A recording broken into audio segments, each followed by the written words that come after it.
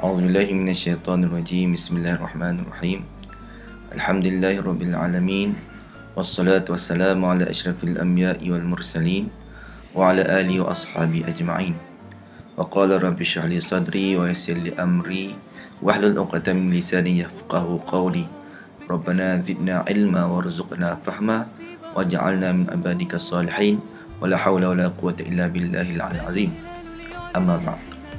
Di selamat bertemu dalam program Tazkirah Ramadan bersama dengan saya pada hari ini Dr. Khairul Anwar bin Sa'ad penolong pengarah pembangunan dan pendidik uh, perancangan dan pembangunan pendidikan Islam uh, sektor pendidikan Islam uh, JPN Perlis InsyaAllah tajuk yang saya akan bicara pada hari ini berkaitan dengan doa puasa dan doa apa kaitan puasa dan doa Tuan-tuan yang dirahmati oleh Allah Subhanahu Wa Taala ketika kita berpuasa ni adalah di mana saat doa-doa kita ni akan dimakbulkan oleh Allah Subhanahu Wa Taala.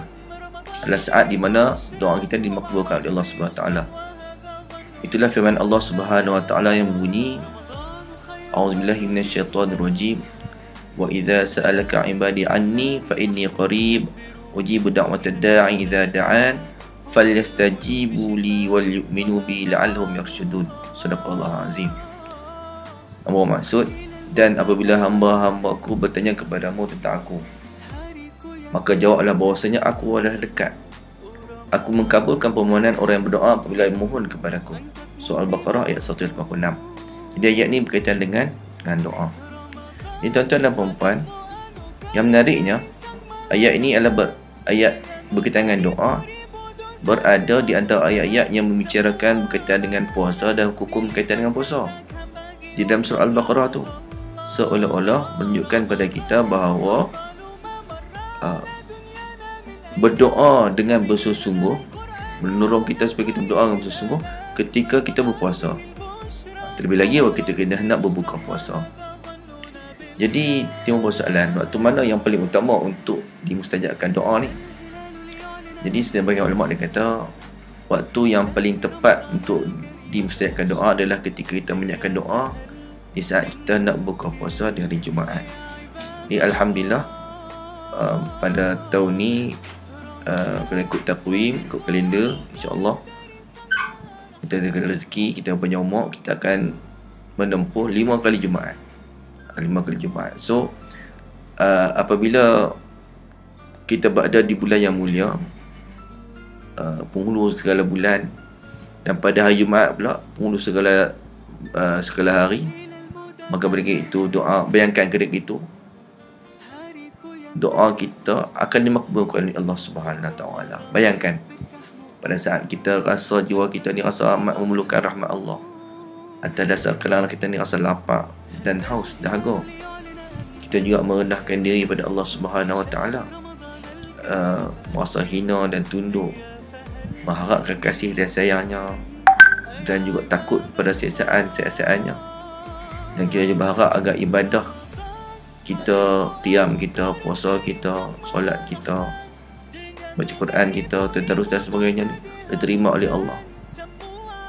Dan diiringi juga dan dan uh, rasa khawatir amalan kita ni tak layak diterima oleh Allah SWT bayangkan pada ketika itu kita mengingati Allah SWT dalam keadaan kita bersendirian duduk sendiri.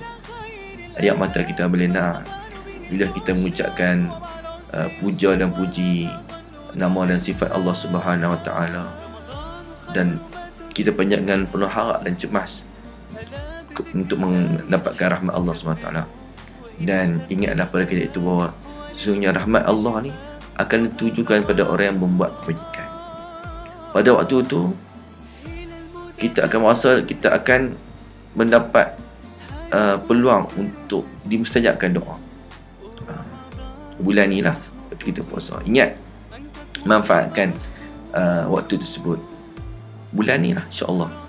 Jadi mengucapkan puji-puji pada selawat pada Allah pada Allah SWT solat pada Nabi sallallahu alaihi wasallam dan ikut uh, tertib uh, yang di, disusun oleh Allah Rasulullah SAW dan bersuci menghadapkan ni ke arah kiblat angkat tangan dan banyakkan doa yang penuh ikhlas.